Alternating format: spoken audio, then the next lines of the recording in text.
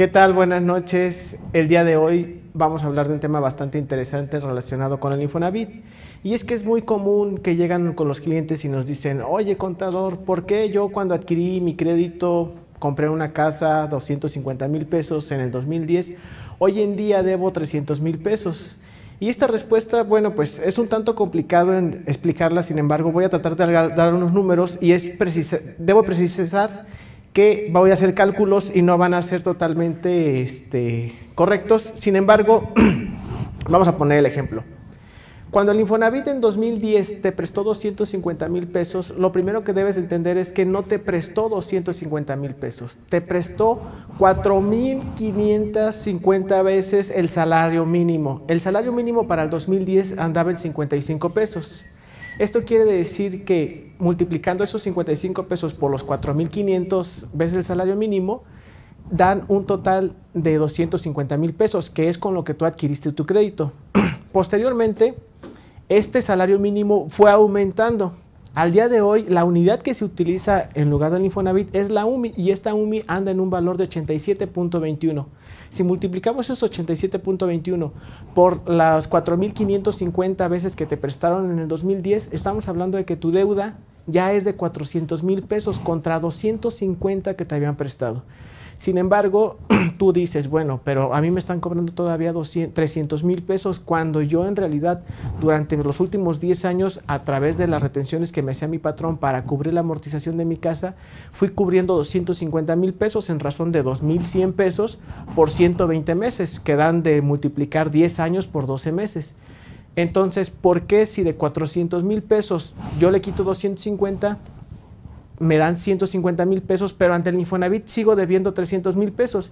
Y aquí la respuesta es muy sencilla, por el tema del interés. Y vamos a hablar de un interés promedio anual del 10%. Si multiplicamos 10 años por el 10%, estamos hablando de un interés del 100%.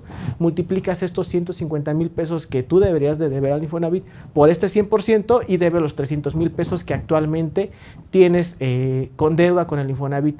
Aquí la parte interesante está en que en el 2010 se separó el salario mínimo para hacer los cálculos del Infonavit y se empezó a utilizar la unidad de medida de actualización.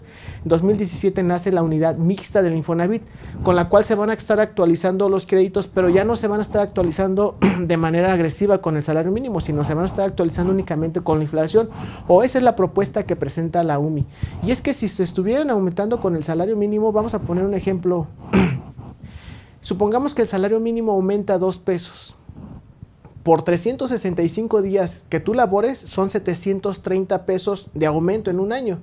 Pero si a ti el Infonavit te prestó 4.500 veces el salario mínimo, si lo multiplicas por los dos pesos de aumento, estamos que hablando que en el año en que tú tuviste un aumento real de 750, 730 pesos, tu crédito aumentó 9 mil pesos. Por eso es que los créditos aumentaban de manera de esta manera tan agresiva. Sin embargo, les comento, con esta reforma del 16 del 17 y el tema del valor de la UMI, se espera que estos aumentos ya no sean así de agresivos, porque pues imaginan, estamos hablando que en 2015 el salario mínimo rondaba los 70 pesos, hoy en día está más del doble a 141.70, lo que te haría deber prácticamente que en vez de tener esa deuda de los 300 mil pesos, estaríamos hablando de más o menos una deuda de 450 mil pesos. Sin embargo, también pues debes de estar este, en conocimiento de que posiblemente esa casa que tú adquiriste en 250 mil pesos ya no tiene ese costo. Seguramente en el mercado ese inmueble pueda costar 550, 600 mil pesos, lo que de cierto modo te va a recompensar si en este momento tú la vendes, recuperar una parte de lo que ya pagaste y poder cubrir el tema de la deuda que todavía tienes.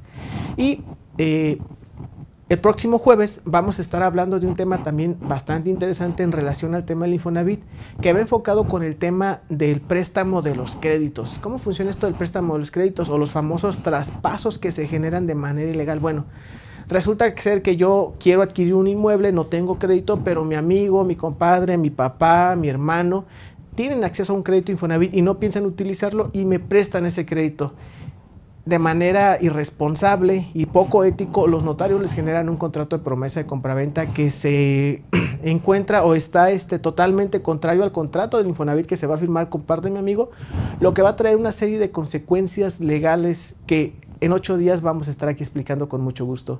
De mi parte es todo, que tengan muy buenas noches.